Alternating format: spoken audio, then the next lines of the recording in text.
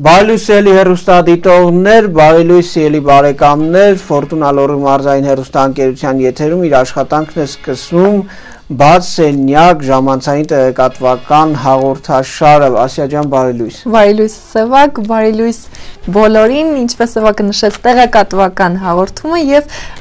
մենք ձեզ համար այսօր պատրաստել ենք մի շարք հետաքրքիր տեղեկություններ աշխարհում գործող Այո, տարբեր մարդկանց, ոչ թե գործող, տվյալ դեպքում արդեն քաղաքա գոյություն ունեցող մարդիկ են նրանք քաղաքական գործիչներ, ովքեր եղել են շատ կարևոր մարդիկ եւ ունեցել են մեծ դերակատարում եւ իրենց երկրի եւ առհասարակ աշխարհի պատմության հարցում իսկապես նրանք եղել են անհատներ, ովքեր կարողացել են փոխել նաեւ ամբողջ աշխարհի ընթացքն ու ռիթմը եւ իհարկե նրանք օրինակ են այսօրվա երիտասարդության համար, օրինակ են նաեւ վաղվա քաղաքական գործիչների համար, ովքեր փորձում են նմանվել այս մարդկանց։ Դրանցից առաջինը մեր հայ երիտասարդների կողմից շատ սիրված եւ նաեւ օրինակելի կերպար Չէ Գևարան։ Իմ կողմից շատ սիրված։ Այո, համաշխարհային հեղափոխական Չէ Գևարան է։ Պետք է նշենք, որ պատահական չէ, որ Չէ Գևարան եղել է շատ հզոր հեղափոխական, ինչու որովհետև նրա նախնիներից մեկը մայրական կողմից եղել է Պերուի փոխարքան գեներալ Խոսե դե լա Սերնա է Ինոխոսան։ Նա եղել է Չե Գևարայի նախնիներից մեկը, ահա թե որտեղից էլ նրա արյան մեջ գալիս է այդ հզոր գենը։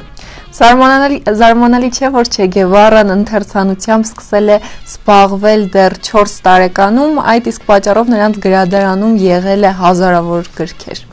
Ահա, այնպես որ պետք է նկատի ունենանք, որ եթե ուզում եք իսկապես դառնալ համաշխարհային պատմության մեջ կարևոր դերակատարում ունեցող մարդ, պետք է առաջնահերթ տեղ հատկացնեք ընթերցանությանը եւ ամենակարևորը բազմապիսի գրականություն, որպեսզի կարողանաք հնարավորինս շատ ինֆորմացիա ունենալ։ Եվ ահա երկու տարեկանում արդեն Չե Գևարայի մոտ ի հայտ է գալիս առաջին անգամ բրոխյալ ասթմայի նոպա իդեպ այս հիվանդությունը նրա ամբողջ կյանքի ընթացքում ուղեկցում են նրան եւ parberabar այդ նոպան ի հայտ է գալիս եւ parberabar խանգարում նրան եւ իհարկե այս հիվանդությունը նա ունենում է մինչեւ իր կյանքի վերջը Եվ այդ նոպաների պատճառով Չէ Գևարան իր երկու տարի ուսումնական տարին չի կարողանում գնալ դպրոց, այդ իսկ պատճառով ուսանում է տանը։ Իսկ ահա Ծնված լինելով Արգենտինայում Չէ Գևարան Կուբայով հետաքրքրվում է արդեն 11 տարեկան հասակում եւ Բուենոս Այրեսի ժամանում շախմարի շախմատի աշխարհի չեմպիոն Խոսե Ռաուլ Կապաբլանկան հենց սա էլ նրա մոտ հետաքրքրություն է առաջացնում դեպի Կուբան։ Չէ Գևարան ընտրում է բժշկի մասնագիտությունը, քանի որ երազում էր իր կյանքը նվիրել իր իր կուրկ դարձած Ալբերտ Շվեյցարի օրինակով, քանի որ նա բուժում էր աղքատներին։ Այո, եւ նաեւ պիտի նշենք, որ իր նպատակասլացության շնորհիվ Չէ Գևարան կարողանում է հասնել նաեւ այդ երազանքին, ստանալով մասնագիտական դիպլոմ, խոսքը բժշկական մասնագիտության մասին է, նա արդեն սկսում է զբաղվել բժշկությամբ եւ մասնավորապես աղքատ թաղամասերում եւ շատ հաճախ նա իր ծառայությունները մատուցում էր անվճար։ Նա անգամ տարված էր հին մշակույթով եւ հատկապես մինչ կոլումբոսյան եւ հնդկացիականներով։ Եվ եւ նաեւ կարծում եմ հետաքրքիր կլինի իմանալ, որ Չէ Գևարան նախքան համաշխարհային հեղափոխական լինելը, նախքան սիրված, այսպես օրինակելի կերպար լինելը 1940-ական թվականներին ի զարմանե շատերի զբաղվել են նաեւ գրադարանավարությամբ, այնպես որ պետք է իսկապես յուրաքանչյուր շերտում լինել, որպեսզի կարողանաս ճիշտ պատահական չէ, ասած աստիճան հասկացողությունը։ Այո, այնպես որ պետք է նշենք, որ շատ հաճախ ի հակառակ այն պնդմանը, որ մի ծաղկով գարուն չի գալիս, իրականում շատ հնարավոր է, որ մի մարդը իսկապես կարողանա փոխել պատմության ընթացքը։ Մենք իհարկե ընթացքում էլի կանրադառնանք այդպիսի մարդկանց, այս պահին կարճատև դաթար, գեղեցիկ երաժշտություն, որից հետո կվերադառնանք տաղավար եւ կշարունակենք մեր զրույցը Չէ Գևարայի մասին, մնացեք մեզ հետ։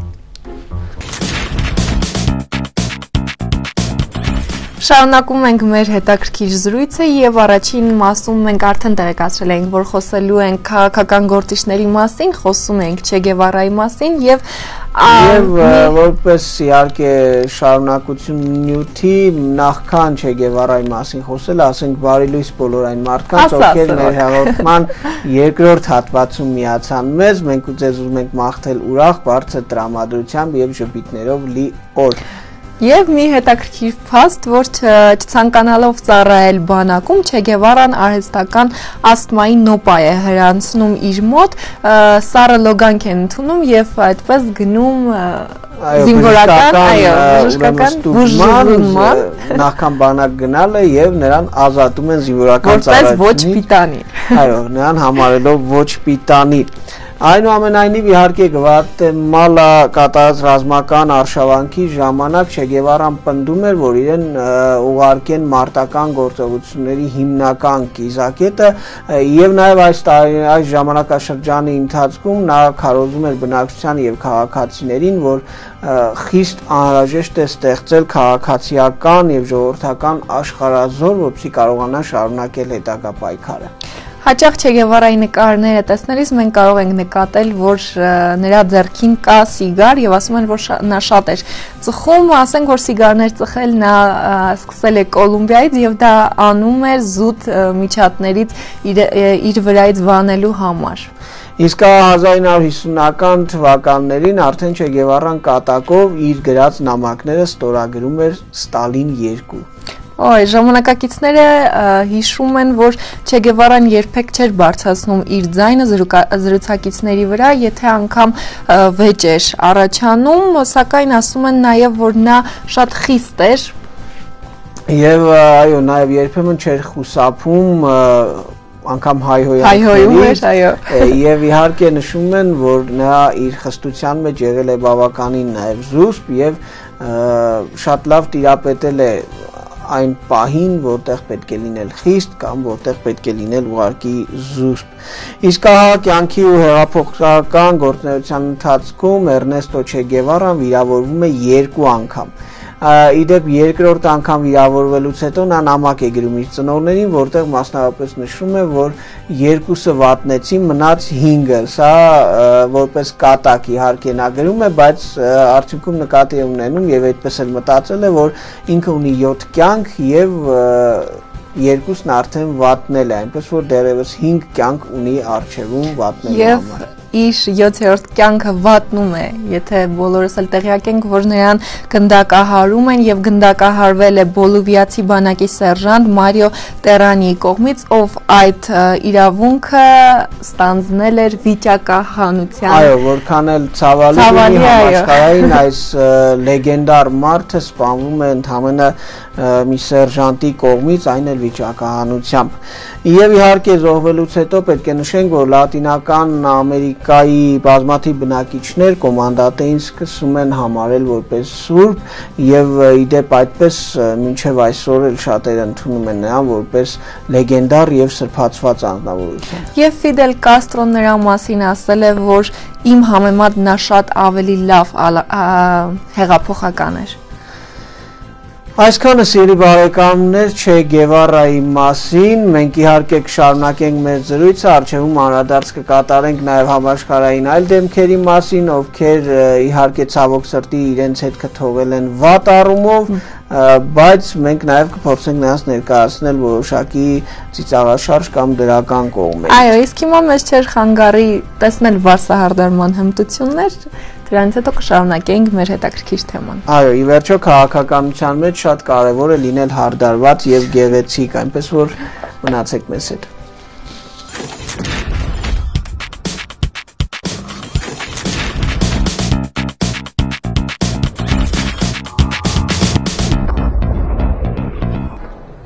Շարունակում ենք մեր ընթացքը սիրելի բարեկամներ, կրկին վերադառնալով տաղավար, ասում բարի լույս բոլոր նրանց, ովքեր նոր միացան եւ իհարկե բոլոր նրանց, ովքեր արդեն մեզ հետ էին, եւս մեկ անգամ մաղթում ենք ուրախ ու ժպիտներով լի օր։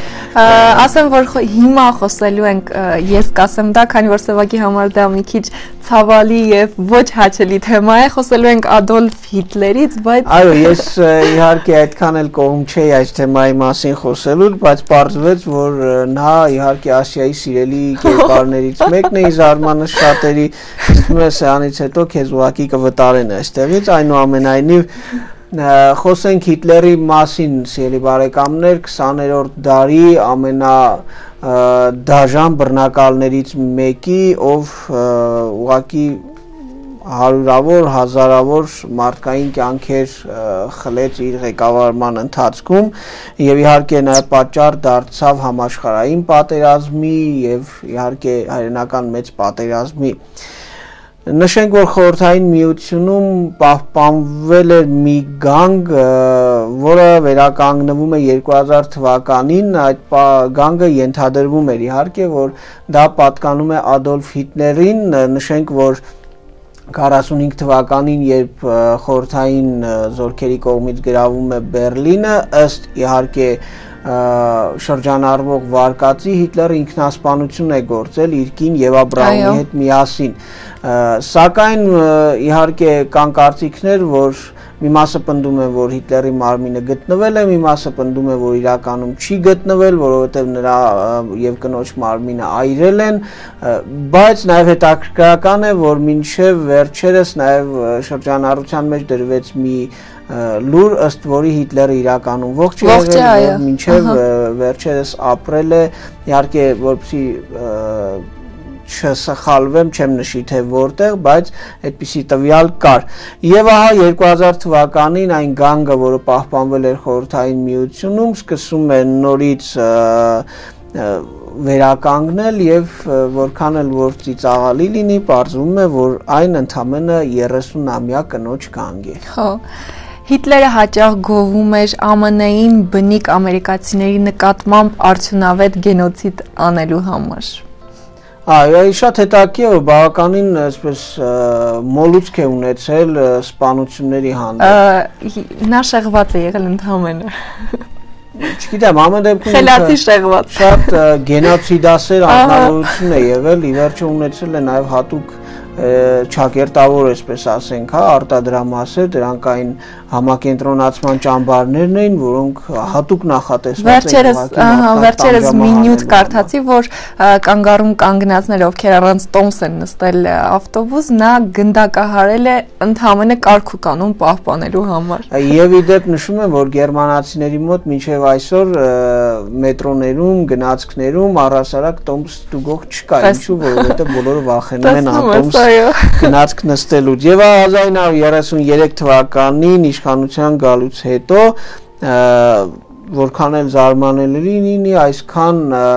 հակամարտկային նացիստական կուսակցությունը սկսում է ընդունել մի շարք կենթանիների պաշտպանության մասին Այ, տեսնում ես, այստեղ մի նյութ էլ կա, որ 1930-ից 40-ական թվականներին կազմակերպվել է ամենախոշոր ծխելու դեմ ակցիայի շարժումը։ Հիտլերը ինքը։ Եվ ահա Հիտլերի Մայկամփ գրքի վաճառքից ստացված գրեթե ամբողջ եկամուտը իդեպ օգտագործվել է բարեգործական նպատակներով։ Հիտլերի անձնական վարորդներից մեկը են նրա մոտ ընկերներ, երբ նա իմանում է, որ Մորիսը հրեական ծագում ունի, նա եւ նրա եղբայրների համար բացառություն է անում անվանելով նրանց պատվավոր արիացիներ, բայց օրինակ ես եթե իրականում նա հատուկ ատելություն է ունեցել հрьяաների, այո, այսպեսի մի վարկածել կա, որ նա չի սիրել հрьяացիներին, զուտ նրա համար, որ մայրը հիվանդ է եղել եւ չեն կարողացել բուժել, բայց եթե չեմ սխալվում, այստեղ ուրիշ վարկած կա տարբեր վարկածներ։ Այնուամենայնիվ փաստը մնում է փաստ, որ նա եղել է համաշխարհային իսկապես ամենավտանգավոր առաջնորդներից մեկը, ով իսկապես ունեցել է մի շարք տարօրինակություններ, որոնք կարելի է համարել նաև մեծագույն առեղծվածները, որ երբև երբևէ դժվար է բացահայտվի հաշվի առնելով արդեն անցած Եվ իհարկե կշարունակենք առեղծվածային Հիտլերի թեման, կարճաթև դաթարից հետո։ Այո, իհարկե առեղծվածայինը պետք է ընկալենք նաև ոչ դրական։ Այո։ Աստով, այնպես որ մնացեք մեզ հետ, սիրելի բարեկամներ։ Բաց սենյակը շարունակում է իր ընթացքը եւ կրկին բարի լույս ենք մաղթում բոլորիդ, շարունակելով մեր հետաքրքիր թեման։ Այո, նշենք, որ մենք այսօր խոսում ենք համաշխարային քաղաքական գործիչների մասին, մասնավորապես այս պահին մենք իհարկե խոսում ենք աշխարհի ամենաարունարբու ղեկավարներից մեկի Հիտլերի մի շարք հետաքրքիր տարօրինակությունների մասին։ Հետաքրքիր է, որ որ մարդիկ պատմության մեջ գրվել են հետաքրքիր արած գործերով, ասենք Չե Գևարան իր մարդասիրությամբ, Հիտլերը իր մարդաչեսիրությամբ։ Այո, մարդատիացությամբ եւ նաեւ նշենք, որ եթե Հիտլերի հայրը 1877 թվականին չփոխեր նրա անունը, ապա Հիտլերին կանվանեին Ադոլֆ Շիկլ Գրուբեր։ Այո, ինձ թվում է շատ կարևոր է եղել նրա անունը փոխել, որովհետև ասում են, որ եթե անունը փոխում են, ապա ճակատագիրը նույնպես փոխվում է, եթե չփոխեին իր անունը, կարող էր նա նորմալ դաստիարակված ինչ-որ մեկը լինել։ Չգիտեմ ով է ասում, բայց այդպեսի բաներ կա։ Ասում են, որ Հիտլերը տանել չէր կարողանում ֆուտբոլը։ Այդ մի այդ մի հարցում համաձայն ես նրա հետ։ Մենք նման ենք իրար։ Սևակը միշտ զարմանում է թե մարդ ինչպես կարող է 11 հոգի ինչպես կարող են վազել մի գնդակի հետևից։ Լավ, ամեն դեպքում շատ չծավալվեն, որպեսզի նաև մեր ֆուտբոլասեր հերոստատիկները Ես ինքը շատ եմ սիրում ֆուտբոլ, ես ինքը շատ եմ սիրում ֆուտբոլ։ Ամենքս ունենք մեր օբյեկտիվ կամ սուբյեկտիվ կարծիքը, որը այս դեպքում թող մնա մեզ նշենք սիրելի բարեկամներ որ Հիտլերը գտնում էր որ չինացիները եւ ճապոնացիները չեն զիջում արիացիներին նա ասում էր որ նրանց անցյալը բարձր է մերինից Զարմանալի մի բան որ Հիտլերը ուներ կանացի ձեռագիր Շատ հետաքրքիր է ինչ է նշանակում կանացի ձեռագիր։ Ես անպայման այսօր կուսումնասիրեմ ինչ հատուկ տարբերություն կա տղամարդու եւ կանանց ձեռագիր։ Ըստ ինձ քո ձեռագիրը ավելի կանացի է, քան իմը։ Ես շատ Շնորհակալություն կոմպլիմենտի համար։ Ոչ, ես շատ վատ եմ գրում, իսկ դու շատ գեղեցիկ ես գրում ընդհանրապես սևակ։ Իսկ ինչի պետք է կանայք անպայման գեղեցիկ գրեն։ Ահա, Դե դու մտածիր այդ հարցի շուրջ եւ նաեւ սիրելի բարեկամներ վերադառնալով կանացի ձեռագիր ունեցող Հիտլերին նշենք, որ նա նաեւ սիրում էր քաղցրեղեն շատ-շատ էր։ Շատ-շատ էր սիրում քաղցրեղեն եւ ասենք որ նա չէր տանել չէր կարողանում ուղակի ատամնաբուժերին, զարմանալի է որ մինչեւ հիմա կան ատամնաբուժներ, քանի որ նա կարող էր բոլորին ուղակի վերածնել։ Գոնե մի առանձին համակենտրոնացման ճամբար հատուկ ատամնաբույժների համար։ Եվ նաև նշենք, որ իր արմանը շատերի ես նաև համարում եմ, որ այստեղից էլ է որոշակի ատելության պատճառ գալիս հрьяների նկատմամբ Հիտլերի առաջին սերը եղել է հրիեուհի։ Ահա, տեսնում ես։ Հրիեուհի է եղել, այնպես որ գուցե մերժել է նրան։ Հնարավոր է։ Եվ դրա պատճառով էլ Դե, այսպեսի մի բան կա, չէ՞, որ աշխարհում ինչ կարգի հեղափոխություն եւ ինչ կարգի վատ պատերազմ ամեն ինչը սկսվում է կանանցից։ Այո, այո։ Ես եւ... միակարծիք եմ այդ հարցի շուրջ։ Ոչ զարմանալի փաստ կասեմ, որ Հիտլերը թմրամոլ էր։ Եվ նաև այսքան տարբեր դրական եւ բացասական բաներ ներկայացրեցինք եւ նաև այսքան մարդկանց հանդեպ ատելությամբ լցված Ադոլֆ Հիտլերը սիրում էր Դիսնեյի անիմացիոն մուլտերը։ Ես այնքան կուզեի նրան մոտիկից տեսնել, հասկանալ թե ով է նա, ինչու։ Իսկ ում է նա քեզ անմիջապես կուղարկեր համակենտրոնացման ճամբար։ Չեմ կարծում։ Ես ուղակի համոզված եմ դրանում։ Ինչեր այսքանը սիրելի բարեկամներ այս պահին Հիտլերի մասին ես ուղակի չունեմ համակենտրոնացման ճամբար դրա համար քեզ չեմ ուղարկում համակենտրոնացման ճամբար բայց ես համոզված եմ որ Հիտլերը կուղարկեր որովհետև նա դրանց շատ ուներ Այսքանը սիրելի հեռուստադիտողներ այս հատվածի համար տեսնենք մեզ ինչ կառաջարկի մեր ռեժիսորը որից հետո կվերադառնանք տաղավար եւ կշարունակենք մեր եթերը այնպես որ մնացեք մեզ հետ Եվ այսպես ելի բարեկամներ կրկին վերադառնում ենք տաղավար եւ մի բռնակալից անցում ենք կատարում մյուսին։ Իհարկե Ստալինի մասին կարծիքները շատ հակասական են։ Մի մասը կարծում է, որ նա պատերազմ հաղթած առաջնորդ է եւ չէր կարող պատերազմը հաղթել, եթե չլիներ այնպեսին, ինչպեսին որ նրան ներկայացվում է։ Խոսելու ենք Ստալինի մասին, սիրելի հերոստադիտողներ, Ես գոնե ականատես եղել եմ մի քանի դեպքերի, երբ խորթային տարիների ապրած մեծացած մարդիկ իսկապես յուրահատուկ հարգանքով եւ ակնածանքով են խոսել Ստալինի մասին, չնայած նրան, որ հիմա անընդհատ փորձ է արվում նսեմացնել նրա կերպարը։ Բայց իհարկե այնուամենայնիվ պետք է փաստենք, որ նա պատերազմ հաղթած առաջնորդ է եղել եւ իր ժողովրդի կողմից սիրված մարդ։ Այնպես որ իհարկե այս ամենով հանդերձ մենք կփորձենք ձեզ ներկայացնել մի քանի դրական հետաքրքիր փաստեր կապված Իոսիֆ Վիսալյոնովիչ Ստալինի Ոյ Եվ Ստալինի համարարական ընթերցանության նորման կազմում էր 300 էջ։ Նրա գրադարանում կար 2000 գիրք։ Այո, եթե նկատեցիք, բոլորը սիրում էին զբաղվել այո մեծ գրադարան։ Նշենք, որ Ստալինի աշխատանքի արդյունավետությունը կայանում էր նրանում, որ նա իր արժև ցանկացած գործ ձեռնարկելիս դնում էր առաջնահերթ հերահար պլաններ, թե հետագայում տվյալ գործը ինչ արդյունք կամ ինչ այլ շարունակություն պետք է ունենա։ Նա շատ խելացի մարդ էր եւ նեղվում էր հիմարների միջավայրում գտնվելուց, երբեք չէր աշխատում օղու դեմ, այսինքն սիրում էր օղի եւ խմում էր, նա կարծում էր, որ պարապ ժամանակի դեմ պետք է պայքարել ուղակի։ Այո, եւ նաեւ յուրաքանչյուր հաստատություն Ստալինի իշխանության ժամանակաշրջանում անպայման ունեցել է սպորտային դահլիճ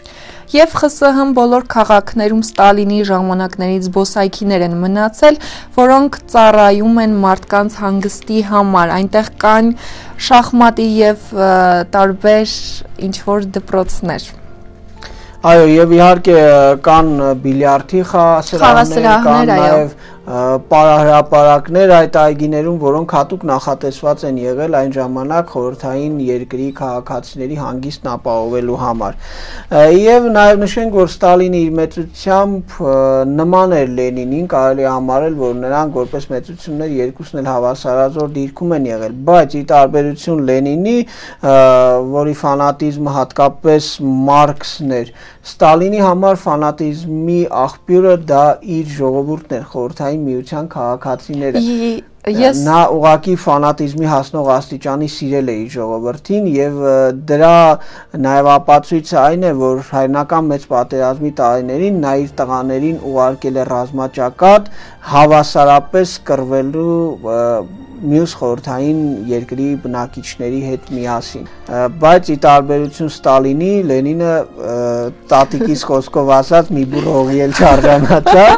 եւ դեռ հարց է երբ կարժանանա կամ կարժանանա թե չէ։ Բայց ես մի հետաքրքիր դեպք եմ հիշում, երբ պապիկս պատմում էր, ով նաեւ հայրենական պատերազմի մասնակից էր, այո։ Վետերան էր, որ երբ արդեն խորհրդային կարգերում փոփոխություններ էին լինում եւ Ստալինին համարեցին ազգի դավաճան ու սկսեցին նրա արցանները ամեն տեղից հանել, ոչնչացնել եւ նաեւ շատերը գուցեև չգիտեն, որ ներկայիս մայր Հայաստանի արցանը, որ տեղադրված է Հայաստանի սրտում Երևանում հաղթանակի զբոսայգում նրա տեղում ժամանակին եղել է Ստալինի արցանը եւ նաեւ նշեմ որ այդ արցանը իջեցնելու ժամանակ այնտեղ զինվոր է զոհվել որովհետեւ արցանը ընկել է նրա վրա Եվ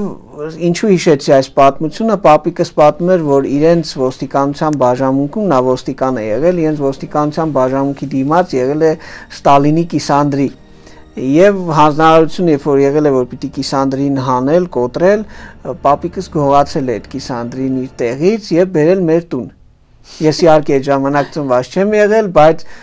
Կիսանդրին բերել եմ մեր տուն, ասելով, որ 7 տարի դրանք այն տարիներն են, որ 2 տարի նա ծառայել է խորթային բանակում եւ 5 տարի կռվել եւ ասել է 7 տարի նա ինձ պահել է, այսուհետ էլ ես նրան կպահեմ։ Այսինքն սա մի փոքրիկ դրվագ է, որը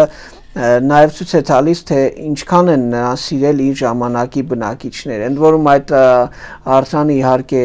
ես անհետացել է տատիկիս հետ ձեռքով, որովհետև նա ամեն անգամ տանը գործ անելուց այդ պոլիփայտով խփել էր ականջին քթին մաս-մաս կոտրել այդ արտանը իհարկե պապիկս բարբերաբար նրան վերանորոգել է տվել բայց մի օր գալով տուն տեսել է որ արցանը չկա որովհետև տատիկս ջղայնացել է եւ իդեպ հենց ինքը ոչ թե հարևանի տղային կամ հարևանն է խնդրել այլ ինքը ծանր մուրճով ջարդուփշուր էր արել Ստալինի խեղճ Ստալինի գլուխը այսպեսի հետաքրիր բաներ էլի բարեկամներ Իոսիֆ Ստալինի մասին մարդ, որ իսկապես կարելի է բաժանել երկու հավասար խմբերի նրա դրական եւ բացասական Այո, եւ կարելի ասել, որ դու ասում ես բոլորը սիրել են, բայց ոչ բոլորն են նրան սիրել։ Իհարկե, ի վերջո պետք չէ մոռանալ Չարագուշակ 37 թվականը, երբ հենց նրա հրամանով նաև Հայաստանը շատ լուրջ կորուստ ունեցավ ու իսկապես գլխատվեց այն մտավորականների սերուցքը, որը ուղակի ուներ ազատ միտք եւ համարցակություն որևէ բան ասելու։ Ինչևէ, խոսենք վատ բաների մասին, ընդհատենք մեր եթերը եւ կվերադառնանք արդեն Նապոլեոնի հետքերով։ Մնացեք մեզ հետ։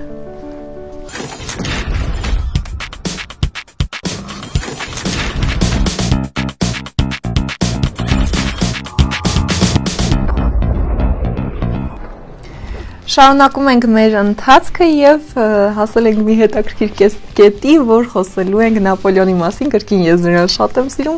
եւ այսպեսի մի բան կա ասում են, որ նա Ինչու՞ նա շատ սիրում, որովհետեւ փոքրիկ է եղել է։ Փոքր։ Դրա մասին էլ կխոսենք, ասում են, որ Իսկ ում է դու Նապոլեոնի շատ սիրում ես, որովհետեւ սիրում ես Նապոլեոն թխված։ Թխված, կայո, հենց դրա մասին էի ուզում խոսել, որ ասում են, որ շատ լավ է, որ նա ողջ չի, որովհետեւ եթե իմանար, որ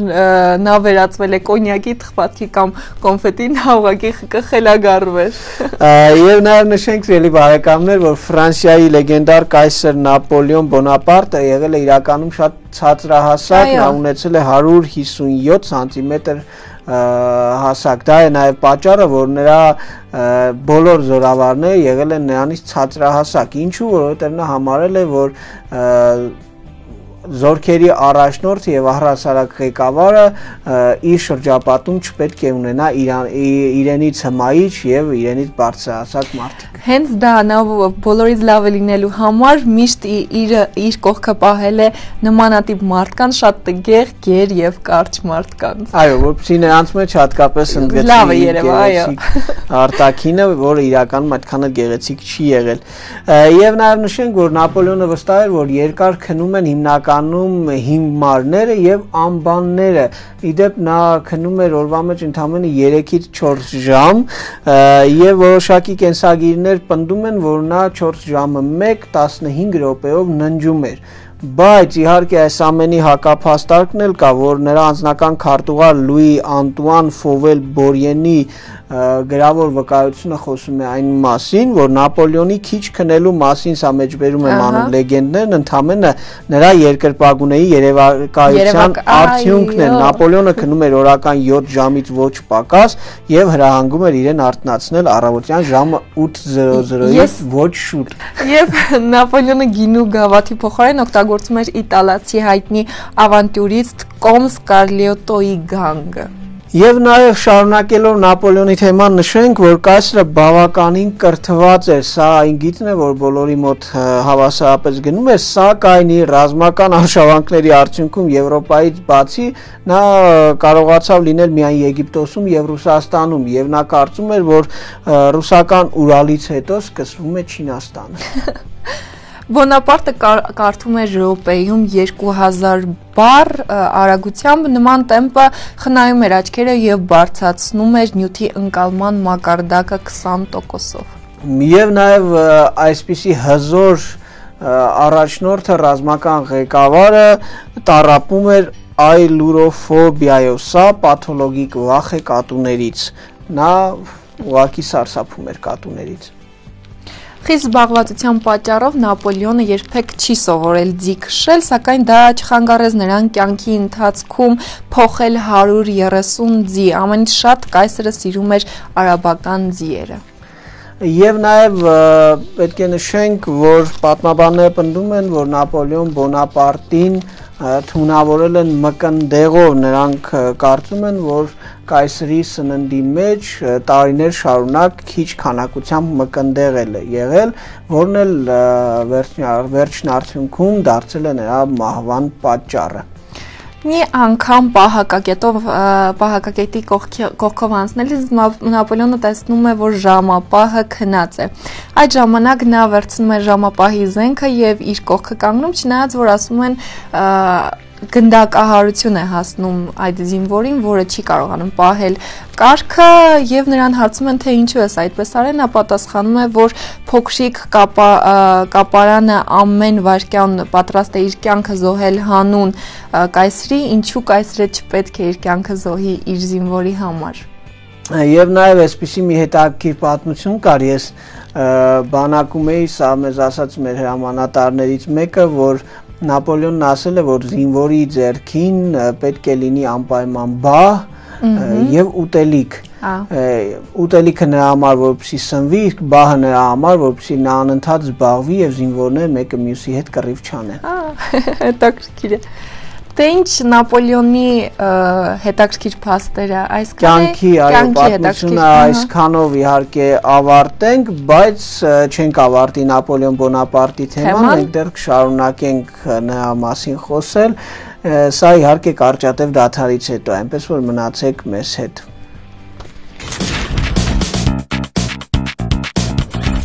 Շարունակում ենք սիրելի բարեկամներ եւ կրկին ասում բարի լույս բոլոր նրանց ովքեր նոր միացան, ասում ենք ուրախ ու բարձր տրամադրություն թող լինի օրվա ընթացքում եւ եղեք միշտ ժպիտով ու լավ տրամադրությամբ լի։ Իսկ մենք շարունակում ենք խոսել համաշխարային քաղաքական գործիչներից, քաղաքական եւ ռազմական գործիչներից, այս պահին մենք անդրադարձ կկատարենք, շարունակենք Նապոլեոն Բոնապարտի թեման եւ անդրադարձ կկատարենք նրա մի քանի հետաքրքիր մտքերին։ Եվ Նապոլեոն Բոնապարտը ասել է, որ դա սերը դա հիմարություն է, որը կատարվում է երկուսով։ Եվ նաև նրա մտքերից է. Սերը սովորական մարդու համար զբաղմունք է, զինվորի համար զվարճանք, միապետի համար ստորջրյա քար։ Ոյ։ Սիրո մեջ հաղթելու միակ միջոցը փախուստն է։ Մարմնավաճառները անհրաժեշտություն են, այլապես տղամարդիկ փողոցներում կհարցակվեն պարկեշտ կանանց վրա։ Գեղեցիկ կինը շոյում է աչքը, բարին սիրտը, մեկը սքանչելի առարկա է, մյուսը գանձ։ Տղամարդը ով թույլ է տալիս կնոջը ղեկավարել իրեն ոչ տղամարդը եւ ոչ էլ կինն, նա ուղակի ոչնչություն է։ Իսկ հիմա կխոսենք Այսպեսի սուր կարծիքներ է հայտնել Նապոլեոնի։ Նապոլեոնի աֆորիզմների կյանքի եւ հաջողության մասին։ Առաջինը հասարակական կարծիքը դա անառակին է այսպիսի կարծիք է ունեցել Նապոլեոնը։ Ես մտածում եմ ինչ լավ է նա մեր օրերում չի ապրում, թե չէ հասարակական կազմակերպություններն ու քաղաքացիական հասարակության ներկայացուցիչները ուղղակի կբսկտեին նրան նման միտք արտահայտելու համար։ Ինչևէ տված խոսքը կատարելու ամենավստահելի միջոցը այդ խոսքը չտալն է։ Չտալն է, այո։ Հաջողությունը աշխարի ամենապերճախոս հռետորն է եւ նաեւ նրան է պատկանում այս միտքը վերջինները միշտ ճիշտ են։ Անգետը միայն ձանձրալի է, իսկ բծախնդիրը անտանելի։ Հաջողությունը ուղեկցում է մեծ մարդուն։ Գրեք կարճ եւ անորոշ։ Ով կարողանում է շողոքորթել, կարողանում է եւ բան սարքել։ Ով չի կարողանում խոսել, կարիերա չի անի։ Տգետը մի մեծ առավելություն ունի գրագետի հանդեպ նա միշտ ինքն իրենից գոհ է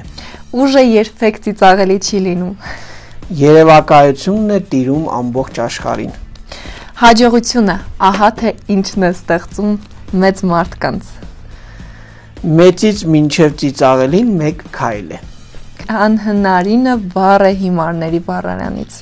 Բոլոր անբարոյականություններից ամենամեծը դա մի գործը ձեռնարկելն է, որը չես կարողանում անել։ Ես համաձայն եմ։ Իսկ հիմա սիրելի հերոստատիտողներ կներկայացնենք աֆորիզմներ պետության պատերազմի եւ բանակի մասին, որը ասել է Նապոլեոնը։ Այո, բավականին հետաքրքիր մտքեր կան, որոնց հետ անձամբ ես շատ համաձայն եմ։ Ժողովուրդը, որը չի ցանկանում կերակրել իր բանակին, շուտով ստիպված կլինի կերակրել ուրիշի բանակին։ Այո։ Պետական գործիչի մոտ սիրտը պետք է լինի գլխում։ Մի վատ զորահրամանատարն ավելի լավն է, քան երկու լավը։ Կա երկու լծակ, որոնց օգնությամբ կարելի է կառավարել մարդկանց վախը եւ անձնական շահը։ Սվիններով կարելի անել ամեն ամեն ինչ, դրանց վրա միայն չի կարելի նստել։ Երբ միապետի մասին ասում են, որ նա բարի է, նշանակում է, որ նա կառավարելու համար պիտանի չէ, շատ լավն է։ Մեծ գումարտակները միշտ ճիշտ են։ Պատերազմ հաղթում են ոչ թե նա, ով լավ խորհուրդ է տալիս, այլ նա, ով դա կատարելու համար պատրաստականություն է հայտնում սկզբում պետք է լուրջ մարտի մեջ մտնել, իսկ հետո կերևա։ Զինվորից պահանջվում է նախ եւ առաջ տոկունություն ու համբերություն քաջությունը երկրորդական է։ Եվ վերջին միտքը, որ կներկայացնենք, բավականին հետաքրքիր է ոչխարների բանակը, որը ղեկավարվում է առյուծի կողմից, ավելի ուժեղ է, քան առյուծների բանակը, որը ղեկավարվում է ոչխարի կողմից։ Այո, այսպեսի հետաքրքիր մտքեր Նապոլեոնը հայտնել է։ Այսքանը Նապոլեոն Բոնապարտի եւ նրա արտահայտած հետաքրքիր մտքերի մասին սիրելի հերոստադիտողներ եւ իհարկե այսքանը այսօրվա մեր հաղորդման սահմանում մեր ինֆորմացիոն զամբյուղ այսքանով ավարտված է։ Այսօր հանդիպեցինք շատ հակասական կերպարներ, կերպարներ, որոնք շատ մարդասիրական էին, շատ լավ բարի գործեր էին անում, կերպարներ, որոնք Ուղղակի եղել են մարդկանց բնաջնջման հիմնական մեղավորներից մեկը, բայց իհարկե մի գիծ, որը բոլորի մոտ ընդհանուր է, դա այն է, որ նրանք իսկապես կարողացել են փոխել ամբողջ աշխարհի պատմությունը եւ լինել միակը եւ անկրկնելի իրենց տեսակի մեջ։ Եվ այսօր այսքանը սիրելի հերոստադիտողներ փորձեցինք ձեր ներկայացնել գլոբալ ընդհանուր աշխարհի այո քաղաքական գործիչներին, ռազմական գործիչներին, իհարկե սա մի փոքրիկ մասն էր, ես հույս ունեմ, որ առաջիկայում կանդառնանք, այո։ Այո, կվերադառնանք կրկին նույն թեմայով որևէ եթերի, մենք նաև անդրադարձ կկատարենք հայ քաղաքական գործիչների, որովհետև իրականում հայ քաղաքական միտքը եւ հայ քաղաքական դաշտը նույնպես տվել է շատ լավ գործիչներ, օրինակելի գործիչներ, ումից նաև կարելի է որոշակի բաներ սովորել։ Այսքանը այս եթերի ընթացքում սիրելի բարեկամներ, մեզ մնում է ձեզ մաղթել հաջողություն, ուրախ ու բարձր տրամադրությամբ օր եւ ասել առողջ եղեք, մնացեք խաղաղությամբ։